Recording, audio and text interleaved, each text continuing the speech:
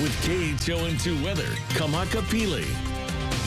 Storm-free conditions continue across the islands from this weekend, taking us throughout the new week ahead of us, highlighting Kahului on Maui tomorrow, where it's really just focusing on our winds because the sunshine is expected to be a lot. Rain chances, the opposite. But in terms of those wind speeds, we're actually seeing a slight little uptick for some areas. More of the windier prone areas are going to be seeing a little more uh, breezier conditions. We're seeing gusts in Kahului Valley tapping into that 30 mile per hour mark. So typically 15 up to 25 mile per hour sustained winds, and that's keeping our ocean conditions elevated in terms of the uh, small craft advisory for the eastern waters. That now is until Wednesday at 6 o'clock in the evening. But for all the islands, we have that coastal flood statement, which went into effect today and takes us in through Wednesday. And it's for the afternoon hours when we're seeing the highest tides potentially of the year taking place. Uh, the peak of it looks to be tomorrow and Tuesday, again, during around 3, 4 o'clock in the afternoon. So just a heads up on that. In terms of our surf, not much changes.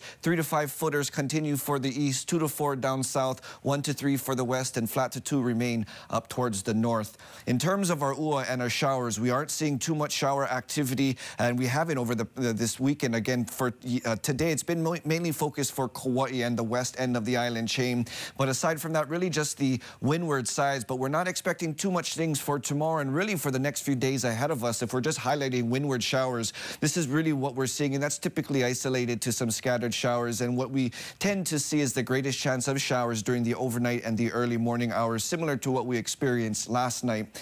A quick update on our drought conditions. Again, from the past week, we have seen drought conditions expand across the islands, or at least uh, intensify for some areas, in particular for Maui County, where Maui, the island of Maui, now has some of the severe conditions, which is the darker orange, and the moderate conditions from Maui to the island of Molokai. And as we step deeper into our summer season, we are anticipating that drought conditions to only increase. So we'll be keeping our eyes on that. That gets updated once a week. In terms of another update for our hurricane season, from just yesterday into today, we now have three different disturbances that we're keeping an eye on in the eastern Pacific. But right now it's the red, which in the next seven days has a 90% chance of forming into something. If you don't already have, be sure to download the KHON2 mobile app and subscribe to those push alerts. As we get the information, we'll be sure to send it out for uh, towards you.